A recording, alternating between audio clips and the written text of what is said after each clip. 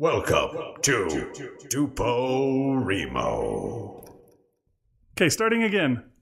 Welcome back. We were talking about Scott Westerfeld's Uglies. Sort and of. this girl, Tally, just longs to be pretty and she finds so many faults and flaws in herself. And, and to entertain her, she has a computer program showing various possible perfect versions of herself or pretty versions of herself. And, and i guess it's you know something that she that she'll plug in her picture and stare at it and say oh i like this. And oh what if i looked like this? And oh what if my hair did this and that? And the, the other girl shay is just like don't waste your time on that. Don't do this. You're fine. You know don't call yourself an ugly. And the future that westerfeld has created for this world is really really interesting. And they look back at our time of the modern age when we were so wasteful and so self-destructive and so warlike and primitive. And they call us the rusties because we built things out of metal and the, the remnants of our civilization is still out there gathering rust.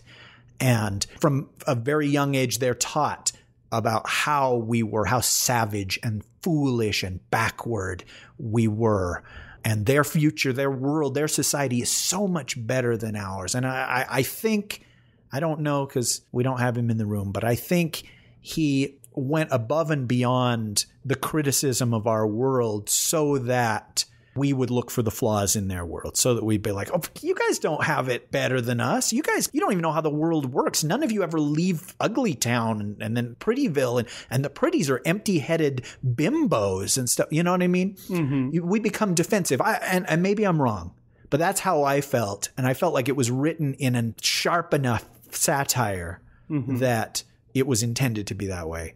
Let me stop and ask you if, if everything I've said you agree with up to this point or if you felt differently. yeah, I think so. And the funny thing is, there are still lots that you have to agree with. You know what I mean? You hear them say things, and you're like, "Oh yeah, I guess that." But oh, but you don't have this. Come on, kind of a thing. They talk about how we would cut down trees and burn them just to keep our machines going and things like that. You know, the fossil fuels, we used them all up and that, and these are, are valid points, but they're taught a very specific Right. version of history with an agenda. There's a point where somebody who wasn't taught in the school mentions a you know other things like oh yeah it's it's an old windmill and windmills yeah Rusty's had windmill and what you know they've never heard that there were any people that tried to do anything the right way they've only been taught about the problems from the past so you see that it's not a complete education We talked a little bit about a utopian future in the rain episode. And and I think you brought up the uglies mm-hmm. world as an example. And I, at that point, I hadn't even started the book. The problem was, see, I was going to the library and the first book was always gone. so you could get specials or you could get extras or you could, I think one time I, I got pretties and I looked on the back and it said the sequel to Uglies. And I was like, oh, so I put it back because I wanted to start at the very beginning, or maybe you had told me to start at the very beginning. yeah that's always helpful And for once, I did as you suggested. You know, I, I didn't think for myself and say, I, I can watch disc two of Godfather Part Three first. Okay, I, that's a bad example, and I have no idea why I watched disc two first. But as the days lead up to Tally and Shay's 16th birthday, Shay starts to try and sway Tally away from it, from going and getting this procedure done. And she's like, we're friends and we've hit it off. You know, listen to me. There's there are other options. You don't have to do this. You've been told that you have to do this, but you don't. And you can think for yourself and you can be yourself and have pride in who you are. And Tally completely rejects that. She toes the party line and she's like, I can't wait to be pretty, and you're going to be pretty next to us, and we're going to be so beautiful and popular, and people will like us, and we'll look back at who we are today and we'll throw up because we're so gross and, and all that. And now I'm using current terminology. I don't think they use the word gross. yeah they actually said grody Indeed, they did.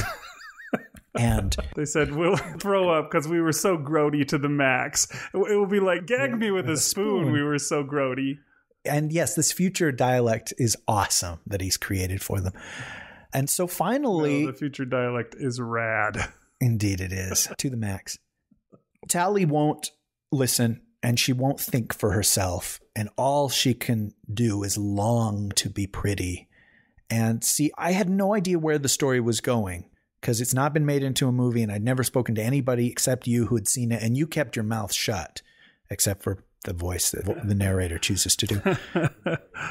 but I started to think, and I don't know how much I want to spoil because this is still the very beginning of the book that I'm talking about. All this ugly town stuff is early, early on, right? Mm-hmm. Say it's the first third, probably. Oh, it's it, okay. I see. I, it's hard to say on an audiobook how far into it you are because right. yeah, you don't have a book to look at with the thickness and say, "Oh, I'm almost done." Right. Although when you get to that last disc, you can kind of go, "Oh, I'm almost done."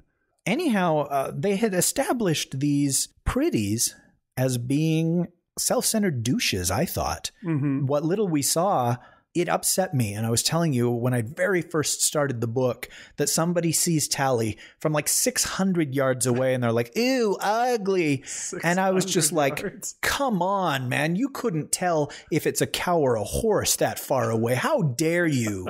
And, and, so I was just she like, had a telescope. Is- okay, 500 yards. All right. and so I was just like, you know, you don't want to be one of those people, you know, kind of thing. And I started to resent Tally I started to not like Tally as a character. I started to think, I'm better than this. I wouldn't do all that stuff. Come on, think for yourself. Be yourself. Have a little pride in yourself, God damn it. Mm-hmm. But be continued next time.